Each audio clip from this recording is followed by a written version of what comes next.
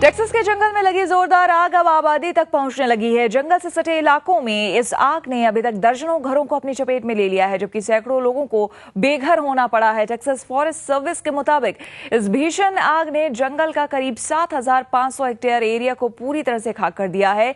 चार महीने पहले भी यहाँ के जंगलों में ज़बरदस्त आग लग गई थी जिसकी चपेट में आने से एक सौ साठ घर स्वाहा हो गए थे। स्पेन में हर साल होने वाले सालाना टमेटीना फेस्टिवल में लोगों ने जमकर एक दूसरे पर टमाटर फेंके। इन तस्वीरों में देखिए लोग कैसे एक दूसरे पर पके हुए टमाटर से दनादन वार कर रहे हैं। टमेटीना फेस्टिवल के मौके पर करीब 120 टन टमाटर का इस्तेमाल किया गया। पूरे जश्न के दौरान टमाटर से भरे पाँच ट्रकों में लोग खड़े होकर भीड़ पर टमाटर फेंकते रहे।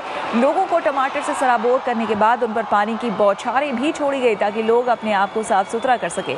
टोमेटिना फेस्टिवल में करीब चालीस हज़ार लोगों ने भाग लिया, जिसमें काफ़ी संख्या में सैलानी भी शामिल थे।